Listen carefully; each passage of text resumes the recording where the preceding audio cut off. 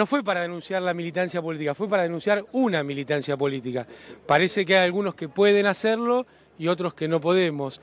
Pero lo más importante es resaltar el trabajo de estos chicos que trabajan en jornadas solidarias, que han puesto de pie muchas escuelas, que han trabajado en pintarlas, que inclusive hay talleres los fines de semana para hacer estas tareas. Entonces, me parece que el 0800 va a terminar siendo una anécdota y lo que va a quedar va a ser el trabajo de todos estos chicos militantes que sin duda forman parte del país de hoy, pero sobre todo del país que viene, un país con crecimiento, inclusivo, un país donde hay lugar para todas las argentinas y argentinos.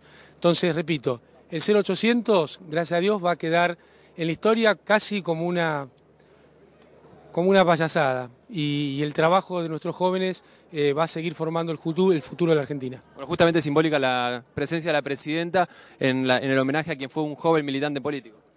Sí, un joven militante y, me parece esta, esta reflexión que hizo la presidenta no solo del hecho que se estaba conmemorando hoy, sino también de ese llamado a, la igualdad entre diferentes, cuando ella habló de las religiones y que todos somos hermanos y todos estamos construyendo un futuro en común, un futuro colectivo. Me parece que eso eh, marca la visión de la presidenta y, cómo es la líder de los 40 millones de argentinos. Un honor muy grande y una cosa que fue que yo no pensaba que realmente iba a suceder, pero ha sucedido y estoy requete emocionada y recontenta y creo que Embar en el fondo, que tantos, tantos le rinden homenaje, este fue la culminación realmente fue algo que nos ha emocionado y vos viste que no ha ido a ningún lado así a rendir un homenaje.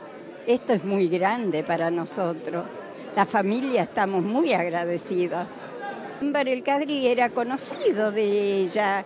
Hicieron unos cursos juntos y aparte trabajaba en el Congreso Nacional Embar y ella era senadora en ese momento, ¿no? Así que imagínate, había, había una conexión y Embar viajaba mucho a, mm, Río Gallego porque tenía un compañero allá de Tacorralo que lo llevaba siempre a ver a, a, Néstor. O sea que Néstor vino, es verdad que vino acá al centro islámico, nos acompañó toda una noche, querido. Bueno, teniendo el ejemplo de Embar, ¿cómo ve esta actualidad argentina con tanta participación política de los jóvenes?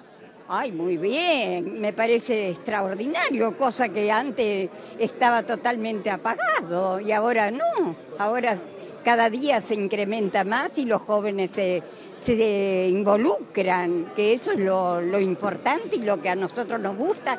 Y de todas partes de, la de las provincias y acá del Gran Buenos Aires me llaman y quieren saber de Ember si no tengo algo para darle.